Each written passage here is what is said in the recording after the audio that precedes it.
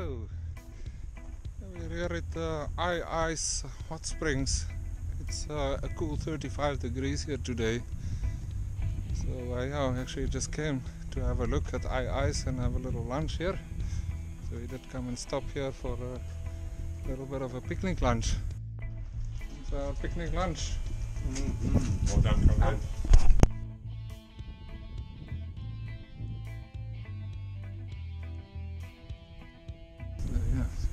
beautiful swimming pool, nice and clean. You can relax here in the pool, soaking up the spring water. It's a beautiful resort here, beautiful rooms, beautiful restaurant, and you can come and enjoy all the fresh spring water. You can see it's very beautiful, nestled here in between the mountains absolutely beautiful location beautiful rooms very relaxing atmosphere The name I Ice is derived from the Nama language, meaning very hot or burning water. The hot springs are a result of groundwater being heated in the Earth's crust and rising to the surface through passages created by deep fault systems in the canyon. so i just want to show you where the water for the spring comes from Uh, yeah the just comes from here at a very cool 65 degrees celsius. This water then gets fed into the swimming pools in the resort also the outdoor swimming pool. And uh, behind by the reeds that is the fish river yeah the ice resort is the end of the fish river canyon hike. So uh, yeah the hikers will be taking their five day hike and then ending up here at the fish river. We departed to our accommodation at the Canyon Roadhouse next, who also provided a very exciting excursion for the next morning. Early the next morning, we went on a guided excursion on an open game drive vehicle to the Fish River Canyon, one of the largest canyons in the world and one of the most visited attractions in Namibia. It is located in the southern part of the country. This natural wonder is a must visit destination for any traveler, offering breathtaking views, challenging hikes, and unique landscapes. The canyon is 161 kilometers long, 27 kilometers wide, and up to 550 meters deep. It stretches from Seeheim to Ai-Ais, where the Fish River flows into the Orange River, marking the border with South Africa. The canyon offers multiple viewpoints, including the main viewpoint, Hikers Point, and Sulphur Springs viewpoint. Each viewpoint provides unique and majestic panoramas. The Fish River Canyon was formed over millions of years ago through a combination of geological processes. The canyon first began to take shape around 650 million years ago when a vast graben, which is a lowered area, formed along all tectonic faults, creating the broad ancient valley of the Fish River. During the Karoo Ice Age, approximately 350 million years ago, glaciers further deepened the valley. The breakup of Gondwana supercontinent about 120 million years ago led to the uplift of the African continent, increasing the gradient of the Fish River. This allowed the river to erode even deeper into the rock, forming the current canyon.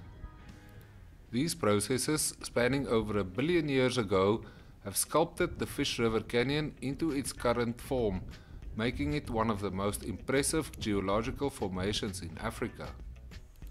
The Fish River Canyon boasts also one of the most famous hiking trails in southern Africa. This 90 kilometers or 80 kilometers if you take shortcuts self-guided hike is one of the most popular and strenuous tracks in southern Africa. It is open from May 1st to the September the 15th and can be completed in 5 to 7 days. Hikers must pre-book through Namibia Wildlife Resorts up to a year in advance. A doctor's letter confirming fitness is required and hikers must be in a group of 3 to 20 people. The hike costs approximately $18 per person plus entrance fees and shuttle costs. Hikers need to be self-sufficient, carrying all food, sleeping equipment and clothes. Water and firewood are available along the river. The trail involves multiple river crossings and water shoes are essential. The best time to visit is during the dry season from May to September when the hiking trail is open. There are only two emergency exits from a canyon, one 16 kilometers into the hike near Sulphur Springs and another after 50 kilometers. It is crucial to carry a GPS and map, which can be purchased at Hobas and Ai-Ais. Temperatures can drop to zero in midwinter, so a warm sleeping bag is essential. The sun sets early in the canyon, so plan accordingly. The Fish River Canyon is approximately 640 kilometers from Windhoek and 420 kilometers from Lüderitz. The road to the canyon involves a mix of paved and gravel roads. While a car with ground clearance is recommended, it is possible to reach the viewpoint with a standard vehicle, though the last stretch from Hobas to the viewpoint can be rough. The journey to the canyon itself is like a safari with opportunities to see ostriches, zebras, springbok and other wildlife. The canyon's landscape is dramatic, featuring immense gorges, dolerites and quartz vein cliffs. The Nama people attribute the creation of the canyon to their serpent god, adding a rich cultural layer to this natural wonder. The nearest accommodation and campsite is at Hobas Rest Camp. It also serves as the entrance to the canyon and the start of the Fish River hiking trail. It is advisable to book in advance, especially during the peak season. The campsite provides basic amenities, including restrooms and picnic areas with a swimming pool.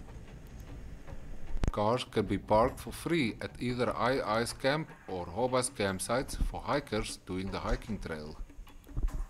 Fish River Canyon is a unique and awe-inspiring destination that offers a blend of natural beauty, challenging hikes and cultural significance. Whether you're a seasoned hiker or just looking for breathtaking views, this canyon is a must visit in Namibia. Always plan ahead, prepare for the hike and enjoy the unimaginable natural experience that the Fish River Canyon has to offer. After our early morning wake up and visit to the canyon, we headed back to our accommodation at the Canyon Roadhouse before getting ready for another long day of dirt riding. I really hope you liked this video about Ai-Ais and the Fish River Canyon in Namibia.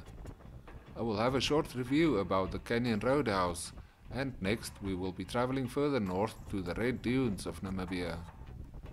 Stay tuned by clicking the subscribe button and like if you liked my videos and want to see more of them. Thank you for watching, see you next time.